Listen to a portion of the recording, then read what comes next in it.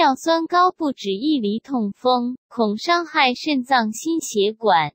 尿酸是身体代谢产物，从嘌呤也有人译为普林代谢而来。一般而言，体内尿酸约三分之一是来自饮食，另三分之二是来自身体内细胞核的核酸嘌呤新陈代谢产生。造成尿酸偏高原因，第一为体质、遗传因素，有些人体内天生就制造过多尿酸，或者尿酸排除功能异常，导致尿酸值居高不下。第二则是慢性肾脏病引起。慢性肾脏病患者因身体排除尿酸速度较慢，尿酸容易堆积于体内。第三，当民众食用大量肉类、内脏类、海鲜、酒精等，可能因摄取过多含普林食物引发尿酸飙升。